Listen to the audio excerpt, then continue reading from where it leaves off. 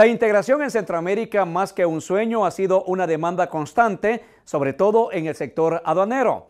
Hoy iniciamos una serie de reportajes donde dejamos al descubierto las barreras aduanales que perjudican el comercio en Centroamérica. Estos obstáculos y a los que se enfrentan los comerciantes incrementan sus costos de operación y ponen en riesgo la seguridad alimenticia. Sara Flores nos da el siguiente informe.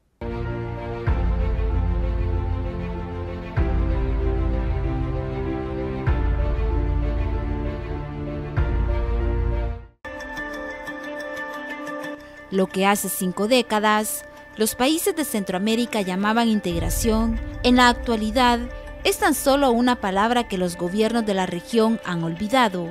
Quienes trasladan productos alimenticios lo saben muy bien y ellos lo viven a diario en los puntos fronterizos.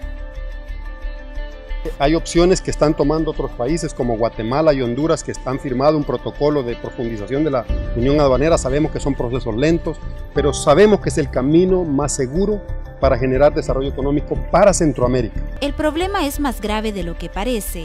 El Comité Consultivo para la Integración Económica de la región señala que exportar un contenedor en Centroamérica cuesta 421 dólares, mientras que en el resto del planeta el costo es de 196 dólares. Esto es muestra de las barreras y la falta de agilización en los trámites han aumentado los costos al ingresar productos principalmente alimenticios. Nos hemos reunido con los vicepresidentes, tenemos bastante tiempo de estar trabajando en esto que no hemos tenido una respuesta positiva todavía. Creemos de que Centroamérica debe estar integrada para mejorar o para ser eh, mejor mercado ante las economías mundiales. Los habitantes de las zonas fronterizas encuentran dificultades hasta en el traslado de los productos de consumo entre El Salvador y Guatemala o viceversa, obstáculo que ha contribuido a través de los años a tomar ilegalmente como rutas alternas los puntos ciegos donde principalmente se evaden los controles fronterizos. Eh, o nuestros agricultores están produciendo sus granos básicos en terrenos propiedad de Guatemala.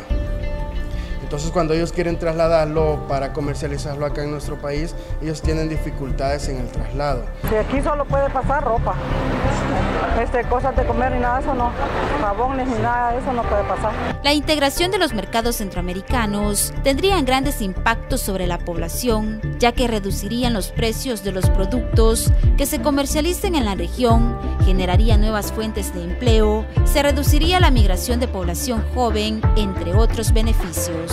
Desde Guatemala con imágenes de Luis Rivera para Si es mi gente, Sara Flores.